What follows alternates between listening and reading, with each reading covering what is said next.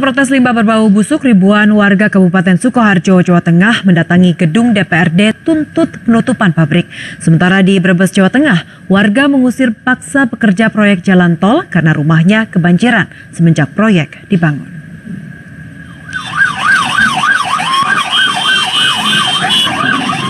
Ribuan warga Kabupaten Sukoharjo, Jawa Tengah mendatangi gedung DPRD Warga memprotes kebocoran saluran pembuangan limbah PT Rum yang menyebarkan bau busuk di kawasan Sukoharjo yang berdekatan dengan lokasi pabrik. Warga pengunjuk rasa menuntut perusahaan yang memproduksi serat rayon tekstil ditutup jika gagal mengelola limbah.